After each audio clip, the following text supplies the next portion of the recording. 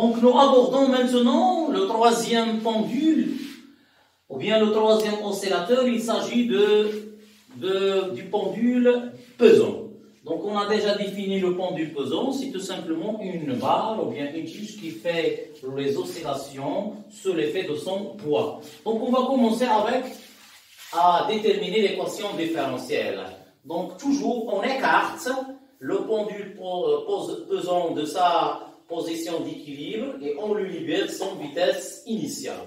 On va l'appeler l'angle θ, c'est l'angle que fait euh, la, ligne verticale avec objet. Donc, le pendule, bien sûr, est le système étudié. Donc, euh, le pendule, dans ce cas, il se mit à deux forces. Le P, son poids, et le R, l'action, ou bien la réaction de l'axe de rotation. Donc, puisqu'il y a rotation, donc on va appliquer la RF, la relation fondamentale de la dynamique. Sigma du moment de force extérieur égale à G delta fois θ de point. D'où le moment de P plus le moment de R égale G delta fois θ de point. Donc, comme vous voyez ici, la, ligne d'action de R coupe l'axe. Donc, il a un, un moment qui est nul. Or, pour déterminer le moment de P, il suffit bien sûr de trouver la distance qui sépare l'axe de rotation et la ligne d'action de P. Or, le moment de P est égal. Donc, dans ce cas, il est négatif. Pourquoi? Parce que le poids fait tourner la barre dans le sens contraire du sens positif. Donc, il est égal à moins m fois g qui est, c'est l'intensité P, fois la distance, c'est OG, fois le sinus θ. Donc on pose, on va poser, pour simplifier, on pose, on pose euh, OG égale à petit d, et dans le cas et sinus θ, et sinus θ égale à à peu près θ. Donc euh, pourquoi Parce que les, les faibles, on a les faibles oscillations. Les faibles oscillations, donc euh, pour les faibles oscillations, on prend cette approximation sin θ égale à θ. Pour euh, les faibles oscillations, ça veut dire que θ est inférieur strictement à 15 degrés, bien sûr. D'où, d'où, donc moins mg, donc euh, le OG c'est petit d, et le sinus θ, c'est θ égale à g delta θ de point. Donc il suffit de faire la somme égale à 0 et diviser le tout par g delta. Donc finalement, finalement, finalement, euh, θ de point plus m fois g fois d sur g delta fois θ égale à 0, c'est l'équation différentielle du pendule pesant. Passons maintenant à la solution. Petit 2, la solution. La solution de l'équation différentielle. Donc c'est la même chose que le, du pendule de torsion. Donc la solution de l'équation différentielle s'écrit sur la forme θ de t égale à θ max cosinus de pi sur t0 t plus phi. Voilà, avec θm, c'est l'amplitude, l'amplitude des oscillations, l'amplitude des oscillations, bien sûr, il est, exprimé en radians. Et T0, c'est la période propre, la période propre, il est exprimé en secondes. Et phi, bien sûr, c'est toujours la phase, la phase à l'origine des dates entre parenthèses t égale à 0, il est exprimé en radians. Voilà. Maintenant, on va euh, exprimer la période propre. Donc, c'est petit 3, c'est petit 3, c'est petit 3, la période propre. T0. Donc, c'est la même manière. De la même manière, on va trouver, bien sûr, donc, l'expression donc je vais vous donner l'expression parce que c'est facile à démontrer. L'expression de la période, la période propre s'écrit, ou bien est, c'est la même chose, est donnée par la relation. Est donnée par la relation. qui est la relation? Donc T0 égale, c'est 2pi racine. Maintenant, comment je vais déterminer le dénominateur et le numérateur Donc c'est l'inverse de ce qui de, de, cette quantité. C'est l'inverse. Donc c'est G delta sur M fois G fois le D. C'est quoi? C'est G delta, pardon, c'est G delta. Donc G delta étant le moment d'inertie, M, il est exprimé en kilogrammes mètre carré, M étant la masse, il est exprimé en kilogrammes, bien sûr la masse de la, tige, et G, c'est l'intensité de la pesanteur, il est exprimé en mètres secondes moins 2, et bien sûr, ici D, c'est OG. Voilà le, le D c'est OG. C'est la moitié de la longueur de la barre ou bien de la tige. Maintenant, au dernier pendule, c'est le pendule simple. Le pendule simple n'est qu'un cas particulier du pendule pesant.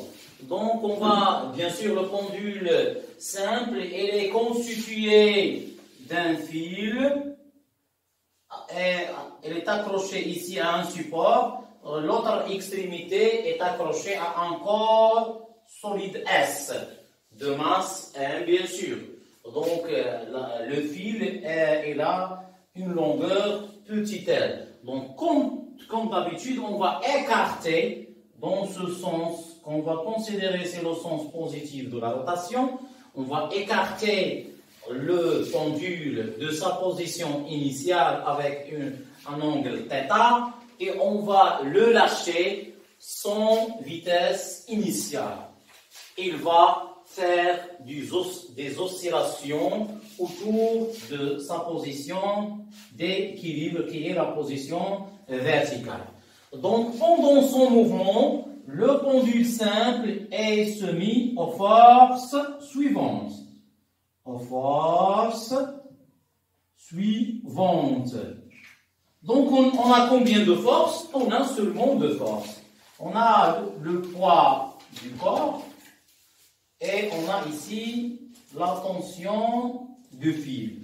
Donc suivante, P et T. P, le poids du corps, le poids du corps S, était la tension, la tension du, du fil. Donc, puisqu'il y a oscillation ou bien rotation, donc on va appliquer la RFD. Par application de la relation fondamentale de la dynamique, par application de la relation fondamentale de la dynamique, sigma du moment de force extérieure égale à toujours G delta fois θ de point. Donc ici, on a deux forces, ce qui implique le moment de P plus le moment de T égale G delta fois θ de point. Ici, le moment qui est égal à 0, c'est le moment de t. Pourquoi? Parce que ici, on a l'axe, donc la droite d'action de t coupe l'axe. Donc le moment de t égale 0.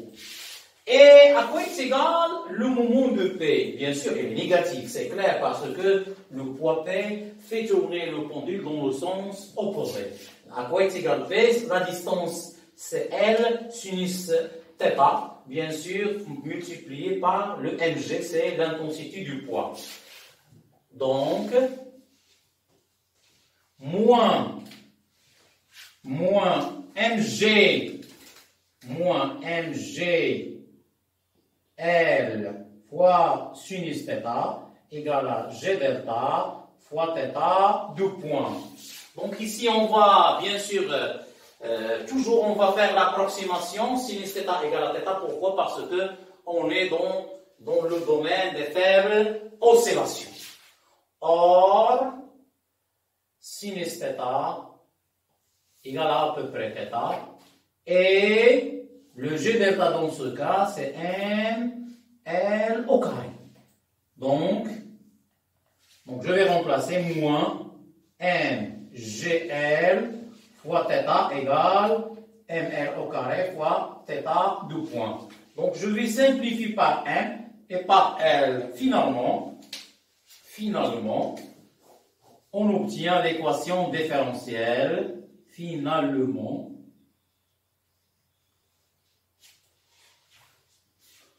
θ de point plus g sur petit l fois θ égale 0. Donc il est clair que maintenant on va bien sûr parler de la solution de l'équation différentielle. Maintenant vous êtes habitués à ce genre de, d'équation différentielle et la solution. Donc la solution de l'équation différentiel. Donc, il va s'écrire, donc on, la variable c'était pas, donc θ de t égale à θm cosinus de pi sur t0t plus phi. Donc, on a défini, bien sûr, dans les vidéos précédentes, à quoi, c'est quoi θm C'est l'amplitude en radian. C'est quoi t0 C'est la période propre en seconde. Et c'est quoi phi C'est la, c'est la phase à l'origine des, dates. Donc on va répéter ça bien sûr. m étant l'amplitude, l'amplitude en radian. Euh, T0, la période, la période propre en secondes et phi, la phase à l'origine des dates. L'origine des dates. C'est quoi l'origine des dates? C'est t égale à 0 en radian, bien sûr. Donc, je passe rapidement maintenant à l'expression de la période propre. L'expression, l'expression de la période propre. Donc, euh, donc l'expression, je vais donner directement l'expression. Donc ici, c'est l'inverse de G sur L, donc on va trouver L sur G. Donc C0 égale à 2pi racine de L sur G. C'est quoi le L Bien sûr, pardon, c'est la longueur de fil et G, c'est l'intensité de la pesanteur. Bien sûr, on vous demande dans l'examen que par analyse dimensionnelle, montrer que T0 est homogène à une durée ou bien un.